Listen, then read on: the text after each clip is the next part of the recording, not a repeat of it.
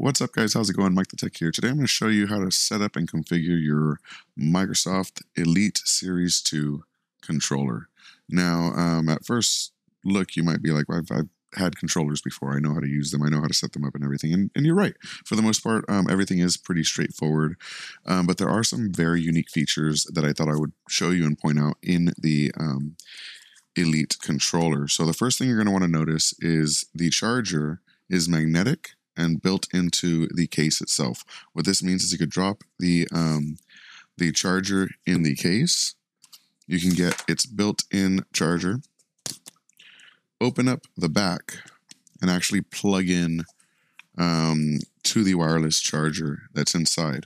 And then whenever you put your controller into it, it will actually charge the controller at the same time.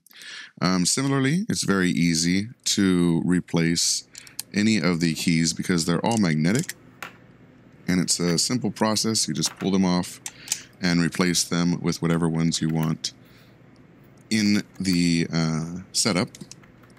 Same thing goes for the back paddles. If you don't want to use some of these, you just pull them up and they mag- they're magnet and they just come right off. You don't have to worry about breaking anything, and then they magnetize right back on.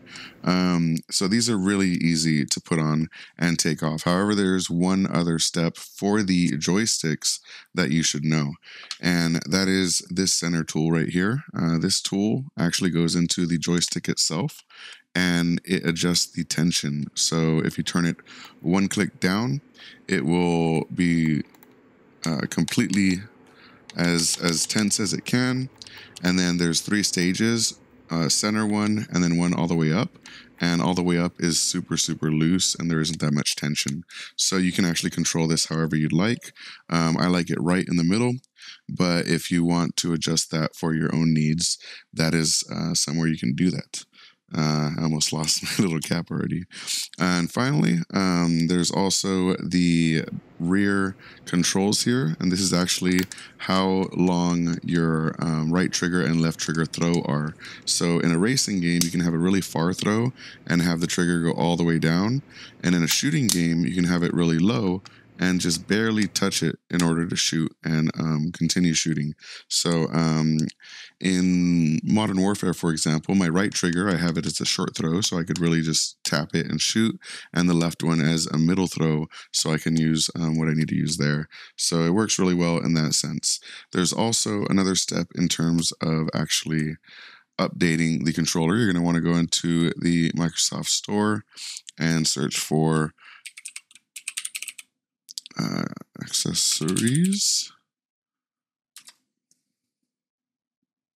And it's Xbox accessories.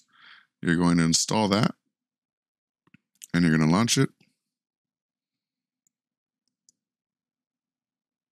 And we need to connect the controller to get started. So let me go ahead and do that. And we need to plug in with a wire because we're actually at times updating firmware on here, and we want to make sure that um, our wires, um, I mean, our battery doesn't die halfway through a firmware update or something. So none of this is done on um, Bluetooth. Um, so in our configuration, we can go ahead and click on Configure here, and we can um, either add a new profile or edit a profile. So I added one um, called Mike the Tech, and what it is is on my triggers. Let's go ahead and make a new one, Mike the Tech 2. So this will let us remap any of our um, uh, keys that we want to set up. So this is crucial for using our paddles. So by default, the paddles are the A, B, X, and Y buttons, but um, we can adjust these. So for example, on the right button, that's what we use to throw lethals in Call of Duty. So I could adjust the right paddle to instead throw a grenade. And the shift, we can just turn that off. Shift is when you're holding shift, it'll um, automatically use that one instead. So you can hold a paddle and have different uses for different buttons if you like. Um, but yeah, you have lots of different um, options here as well for sensitivity. You can test your sensitivity and see how how that's working. Um, you can adjust your trigger throw you can adjust how strong your vibration is, not just in your left and right um, palm, but in the uh, triggers as well. And the brightness of your button. If you don't want to use battery as much, you can lower the brightness and you won't have to worry about using too much battery. Um, if we go back, let's go and go back again.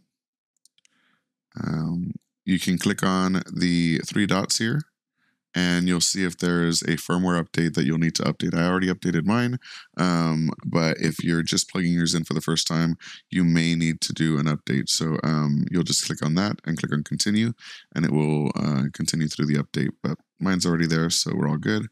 Um, and that is about it. Then when we want to actually connect it on Bluetooth, let me go ahead and show you how to do that process.